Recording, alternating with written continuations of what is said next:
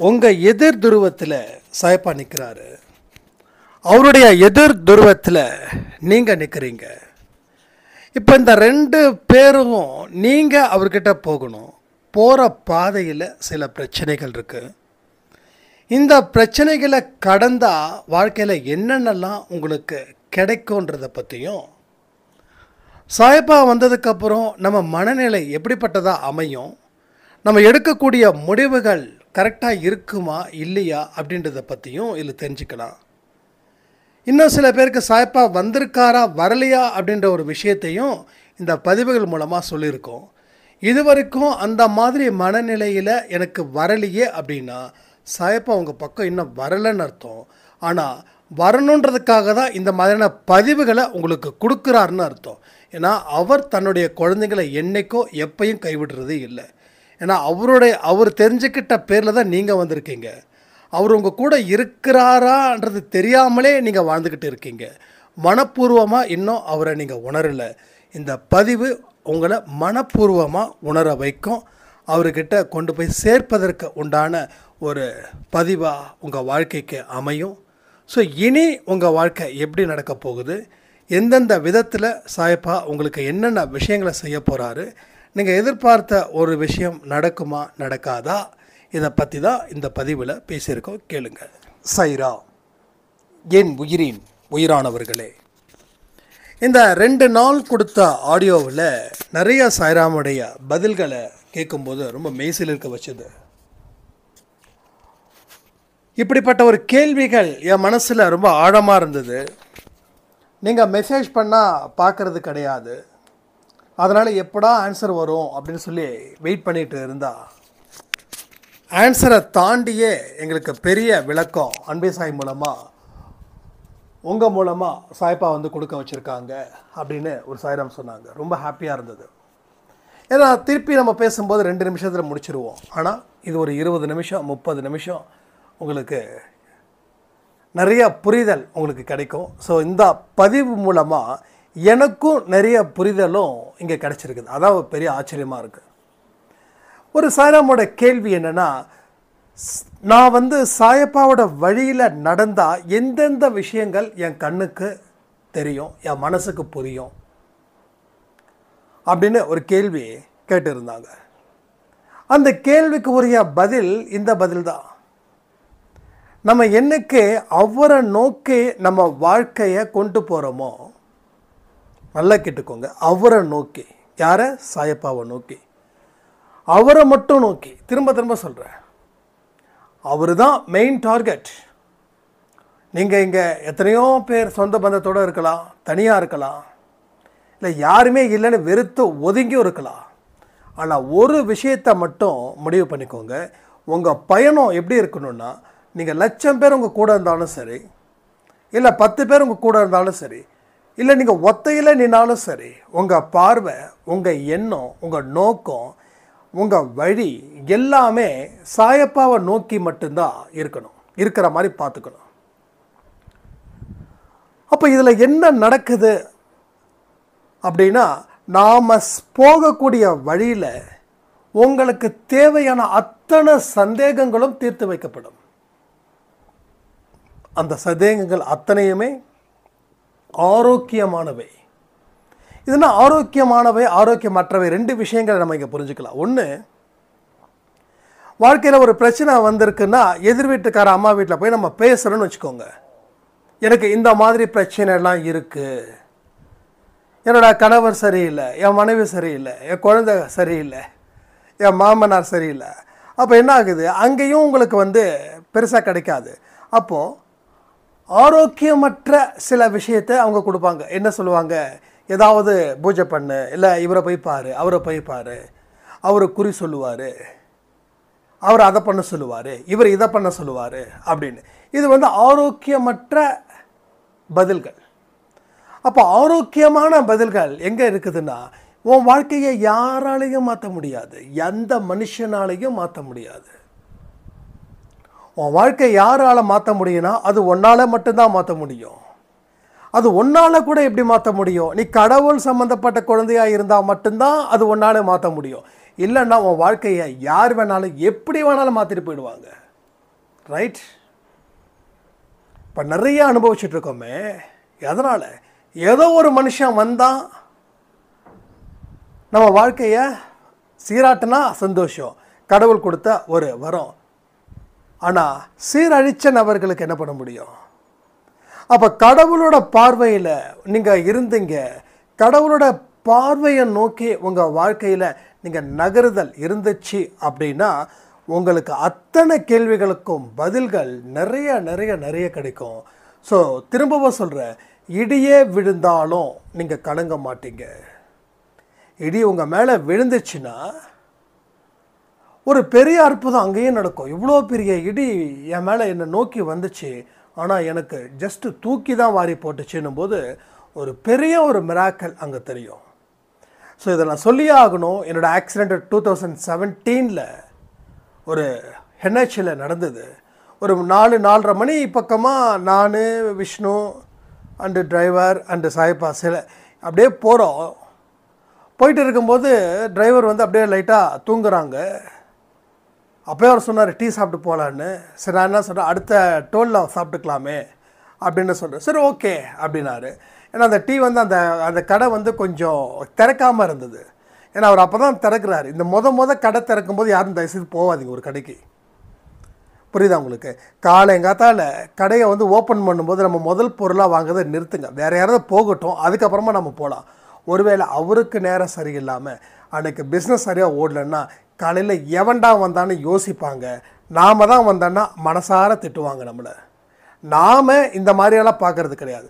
ஆனால் அவங்க பார்த்தாங்கன்னா அந்த சாபம் நமக்கு எதுக்கு? அப்போ நான் சொன்னேன் ஏவா இப்போ தான் ஒரு கடையை திறக்கிறாரு. அதனால் இப்போ போய் நிற்க வேண்டாம் நம்ம வேறு கடைக்கு போகலாம் அடுத்த டோலில் வந்து கண்டிப்பாக இருக்கும். அங்கே போகலாம் அப்படின்னு சொல்லும்போது அந்த டோலுக்கு முன்னாடியே அந்த டிவைடரில் வந்து அடிபட்டு அப்படியே மூணு நாலு பல்டியாக காரு அடித்து விஷ்ணு சாய்ராம் அந்த டிரைவர்லாம் பெல்ட் போட்டிருக்காங்க. அவங்க அப்படியே தப்பிச்சு வெளில வராங்க. நான் வந்து என்னை தேடுறாங்க. நான் காருக்குள்ளே இல்லை. சாய்ப்பா மட்டும் காருக்குள்ளே இருக்கார். அவர் வந்து அவர் கவுந்து கிடக்குறாரு. நான் நாலாக பல்ட்டி அடிக்கும்போது நான் எங்கேயுமே இல்லை. என்னை தேடுறாங்க. பத்து அடி தள்ளி நான் அட்டென்ஷன் பொசிஷனில் படுத்திருக்கேன். உடனே விஷ்ணு சாய்ராம் இப்ப தட்டி எழுப்புறாங்க. நான் இரா தூக்கமாக வருதுடான்னு சொல்லி நான் திரும்பி படுக்கிறேன். ஸோ மயக்கம் ப்ளஸ் டயர்டு இது ஒரு தூக்கம். இது எல்லாமே அங்கே நடக்குது. அப்புறம் அங்கே இருக்கிற மக்கள் எல்லாம் வந்து ஹாஸ்பிட்டலில் வந்து கூட்டு போய் காப்பாற்றி நம்ம சரி பண்ணிட்டாங்க.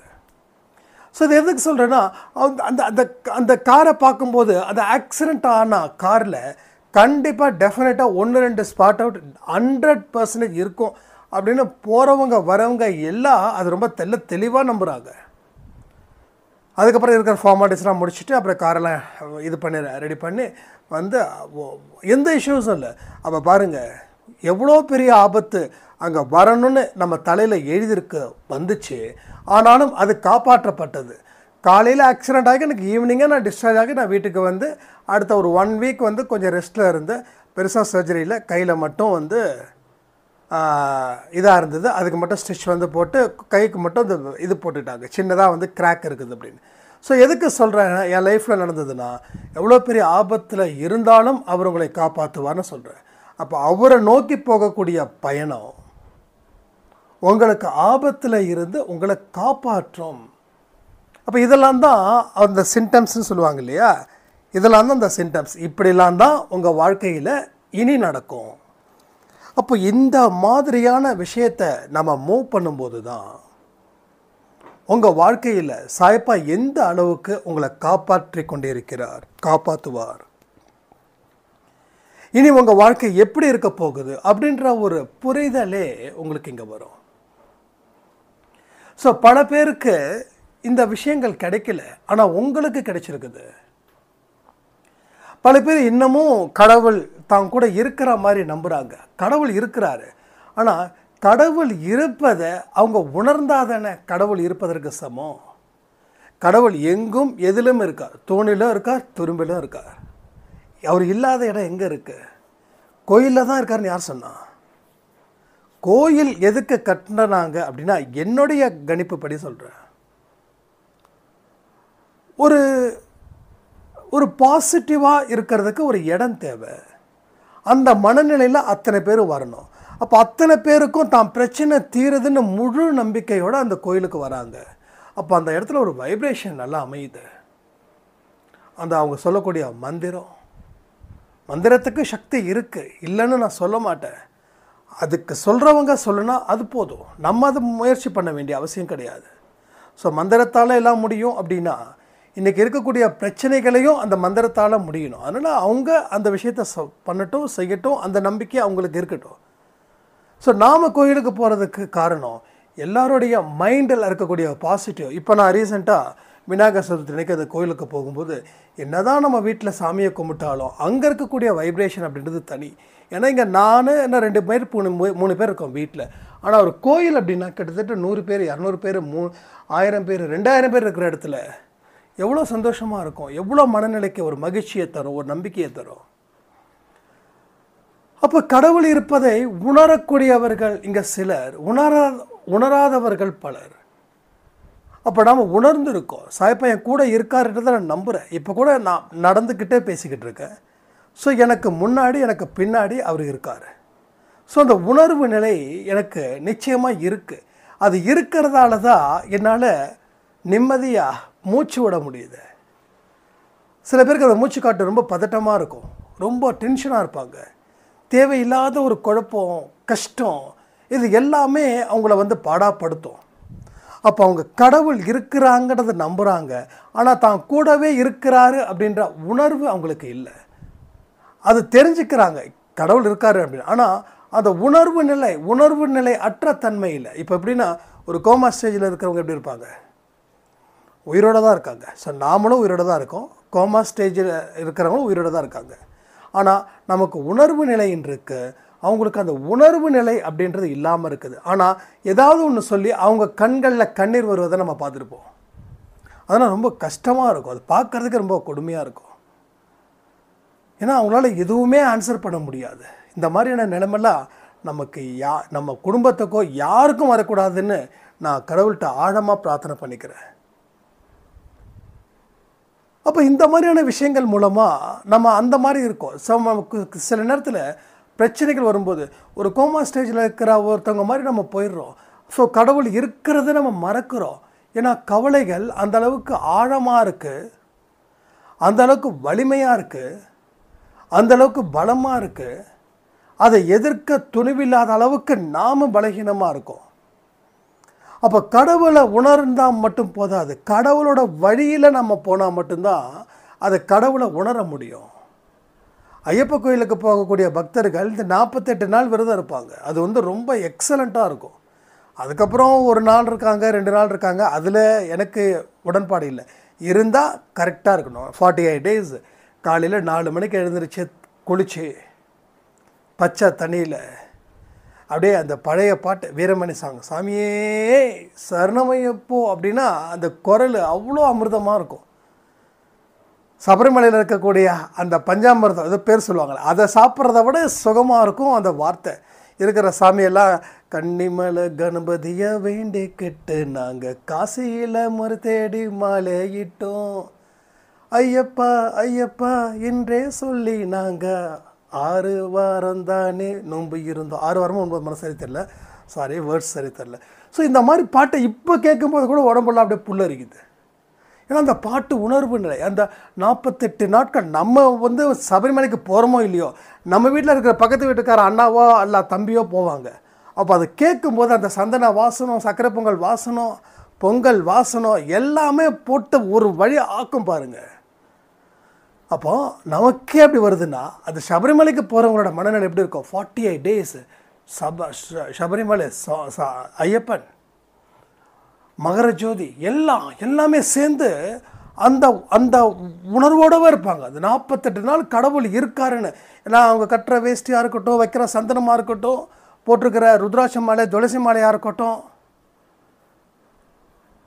எல்லாமே ஏன்னா அதுதான் உணர்வான நிலை. அந்த நிலையில் நம்ம முந்நூற்றி இருபத்தஞ்சு நாள் இருக்கிறோமா அப்படின்றத பார்க்கணும். அந்த நாற்பத்தெட்டு நாட்கள் வந்து கடவுளோட வழிபாடை தாண்டி உடம்புக்கும் சில விஷயங்கள் நல்லது. என்ன நோன்பு இருப்பாங்க. ஒரு ஒரு வேளை கட் பண்ணுவாங்க சாப்பாடு. அப்புறம் இந்த இந்த புகைக்கிறது குடிக்கிறது இது எல்லாமே இல்லாமல் பார்த்துப்பாங்க சிக்கன் மட்டன் நான் வெஜிடேரியன் நம்ம நாற்பத்தெட்டு நாள் இருந்தோம்ல இந்த நாற்பத்தெட்டு நாள் நேற்று கூட ஒரு சாய்ராம் வந்து எனக்கு மெசேஜ் பண்ணியிருந்தாங்க. இந்த நாற்பத்தெட்டு நாள் இருந்த பயிற்சி ஒரு பெரிய அளவில் மாற்றத்தை ஏற்படுத்தி இருக்குதுன்னு சொல்லி எனக்கு மெசேஜ் அனுப்பும்போது அவ்வளோ ஹாப்பியாக இருந்தது. ஏன்னா அந்த ஃபார்ட்டி எயிட் டேஸ் நம்ம ஒரு விஷயத்தை செய்கிறோம் அப்படின்னும்போது. அதே போல் இப்போது இந்த ஸ்வீட் சாப்பிடக்கூடாதுன்னு சொல்லி இந்த மாதம் நம்ம பயிற்சி எடுத்திருக்கோமே இதுவுமே சாயப்பாவோட பிளஸ்ஸிங்கில் ஏழாவது நாள் கம்ப்ளீட்டு எட்டாவது நாள் கம்ப்ளீட் ஒன்பதாவது நாள் கம்ப்ளீட் வித்தவுட் சுகர் அதனோட ரிலேட்டட் ஃபுட்ஸு எதுவுமே எடுக்கலைன்னு சொல்லி. ஏன்னா இந்த மாதிரி இருக்கும்போது ஓ டீயா? குடிக்கூடாது சாயப்பா. ஜாங்கிரியா? குடிக்கூடாது சாயப்பா. ஸோ மூணு ஃபங்க்ஷனு நான் அட்டன் பண்ணேன். மூணு ஃபங்க்ஷன்லேயும் ஸ்வீட் வந்து சாப்பிடவே இல்லை. அந்த மூணு ஃபங்க்ஷனும் வந்து அங்கே ஸ்வீட் இல்லைங்க வேண்டாம். என்னங்க சுகரான்னு கேட்டாங்க. இல்லை இல்லை சுகர் இல்லைங்க. வேண்டாம். கொஞ்சம் டயட் அப்படின்னு. இப்போ என்ன ஆகுதுன்னா ஒரு இடத்துல வாய்ப்புகள் இருந்தும் அதை ஸ்வீட் சாப்பிட்றதுக்கு வாய்ப்புகள் இருந்தும் நம்ம வேண்டான்னு சொல்கிறோமே அதுதான் மன உறுதின்னு அர்த்தம். அதாவது நமக்கு ஆப்ஷன் இருக்குது நிறைய ஆப்ஷன் இருக்குது. ஏகப்பட்ட ஸ்வீட் சாப்பிட்றதுக்கு நமக்கு ஆப்ஷன் இருக்குது.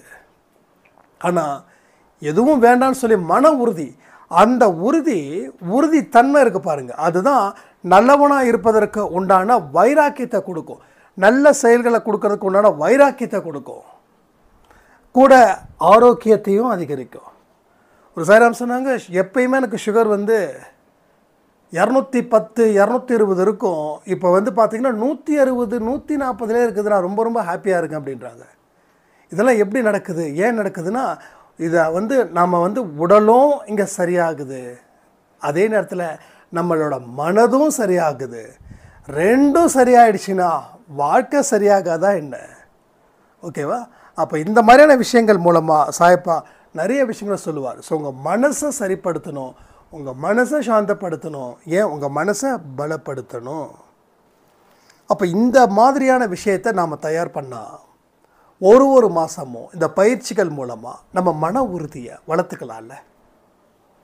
அப்போது உலகத்துக்கே நம்ம சவாலாக இருக்கலாம். உலகம்னா என்ன? உலகத்தில் இருக்கிற மக்கள். நீங்கள் எந்த ஊருக்கு போனாலும் எந்த நாட்டுக்கு போனாலும் இந்த அன்பேசாய் பயிற்சிகள் மூலமாக உங்களால் கம்பீரமாக நிற்க முடியும். இப்போ ரீசெண்டாக ஒரு சாயிரம் சொன்னாங்க. நான் வெளியில் பேசி பழக்கமே இல்லை.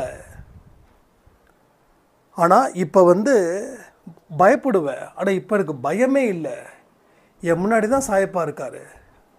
சாயப்பாட ஃபோட்டோ இருக்குது அன்பே சாயோட சாயப்பாட ஃபோட்டோ தான் நான் வால்பேப்பராக வச்சுருக்கேன். ஸோ ஒன் இஸ்ட் டென்னுன்ற வரைக்கும் நான் வச்சுருக்கேன். அதனால் எந்த தப்பும் செய்கிறது இல்லை எந்த பயமும் இல்லை. எல்லாருக்கிட்டேயும் கரெக்டாக பேசுகிறேன் கரெக்டாக பழகுறேன். எங்கள் வீட்டில் இருக்கிறவங்க கூட சொன்னாங்க. இன்னும் நல்ல சேஞ்சாக இருக்க? ஏதாவது ஸ்பெஷலாக ஏதாவது பண்ணுறியா அப்படின்ற மாதிரி கேட்டாங்க. நான் எதுவுமே பண்ணலை அப்படின்னு நான் சொல்லியிருக்கேன். ஆனால் கொஞ்ச நாளில் சொல்லணும். நான் இன்னும் வாழ்க்கையில் வெற்றி அடைஞ்சதுக்கப்புறம் சொல்லணும். என்னோடய அன்பேசாய் குடும்பத்தில் நான் இருக்கேன் அப்படின்னு நான் சொல்லி பெருமையாக சொல்லணும். அந்த வெற்றிக்காக நான் வெயிட் பண்ணிகிட்ருக்கேன் அது வந்துடுச்சுன்னா நீங்கள் சொல்லியிருக்கீங்க. வெற்றி வந்ததுக்கப்புறம் உங்கள் செயல்கள் மூலமாக அவங்க கேட்டாங்கன்னா சொல்லுங்கள் ஒரு வார்த்தையில் சொல்லுங்கன்னு. அந்த ஒரு வார்த்தை தான் நான் சொல்ல போகிறேன் அப்படின்னு. ஸோ இந்த மாதிரி நிறைய விஷயங்கள் மாறிக்கிட்டே இருக்குது. நீங்களும் மாறணும். இங்கே எத்தனையோ பேர் என்ன மாறாமல் இருக்கீங்க. ரொம்ப வருத்தமாக இருக்குது. ஆனாலும் நான் மாறுவேங்கிற நம்பிக்கை நான் வச்சுருக்கேன். ஏன்னா சில பேருக்கு சீக்கிரம் மாறுவாங்க சில பேர் கொஞ்சம் லேட்டாக மாறுவாங்க. ஸோ மாறாமல் யாரும் இருக்க போகிறது இல்லை. அது பொறுத்த வரைக்கும் ரொம்ப தெளிவாக இருக்கும். அப்போது சாயப்பாவை நோக்கி நம்ம பயணங்கள் இருக்குதுன்னா உங்கள் வாழ்க்கையில் என்ன ஆகும்? நீங்கள் கிளம்பும்போது வெறும் கையில் கிளம்புறீங்க. ஆனால் அவர்கிட்ட வர வர உங்கள் கை நிறைஞ்சிடும். நம்ம வெறும் கையோட தான் கிளம்புறோம். அவர்கிட்ட எதை கேட்கணும்னு. இது எனக்கு ரொம்ப பிடிச்ச ஒரு விஷயம். ஏன்னா இப்போ தான் இந்த பேச்சில் தான் வருது. அப்போ என்னோடய லைஃப்பில் நான் என்ன பண்ணேன்? வெறும் கையில் தான் கிளம்புனேன். எனக்கு நிறைய ப்ரா- பிரச்சனைகள் இருக்கிறதால அவர் கொடுக்குறத வச்சு தான் அந்த பிரச்சனையை தீர்க்க முடியும் அப்படின்னு வெறும் கையில் நான் கிளம்புறேன் அவரை நோக்கி. என்னோடய பயணம் அவரை நோக்கி இருக்குது. ஏன்னா எல்லாத்தையும் வாங்கிட்டு வர்றதுக்கு. ஆனால் அவரை மட்டும் ஃபோக்கஸ் பண்ணேன் வேறு யாரையும் ஃபோக்கஸ் பண்ணலை. ஏன்னா தவிச்சிருந்தேன் தனிச்சிருந்த அதாவது என்னை வந்து தனிமையாக ஆக்கிட்டாங்க. இவங்ககிட்டலாம் பேசினா ஏதாவது உதவி கேட்டானா என்ன பண்ணுறது அப்படின்னு சொல்லி அது விட்டுருங்க. அது எல்லாமே பண்ணுறது தானே. அப்போ வந்து சாய்ப்பா நோக்கி போகிற ஏதாவது கேட்குறேன்னா அப்போ அவரை நோக்கி போக போக ஒன்று ஒன்றா வருது கையில். அப்போ அவரை போய் நின்றுட்டு கேட்கறதுக்கு முன்னாடி நீ கொடுத்துட்ட ரொம்ப நன்றின்னு சொல்லி திருப்பி வந்துட்டேன் நான். இதுதான் நடக்குது. இதுதான் நடக்கும். ஓகேவா? கிளம்பும்போது ஏதாவது வேணும்னு சொல்லி கிளம்பி கேட்கறதுக்காக கிளம்புவோம். ஆனால் அவரை சந்திக்க வரைக்கும் நமக்கு தேவையான அத்தனையும் வர வரவே நமக்கு கிடச்சிடும். அப்போ சந்திக்க வரும்போதும் ஏகப்பட்ட மாய விளையாட்டு விளையாடும். கருமா விளையாடும். கருமாவும் மாயும் சேர்ந்து அந்த விளையாட்டெல்லாம் இருக்கும். அதையும் தாண்டி ஒன் பை ஒன்னாக ஒரு ஒரு அடியாக எடுத்து வைக்கணும். ஏன்னா ஒரு ஒரு அடியும் கீழே என்ன இருக்குதுன்னு தெரியாது. ஒரு வைக்க போருன்னு வச்சுக்கோங்க. அந்த வைக்க போரில் நம்ம நடக்கிறோம்.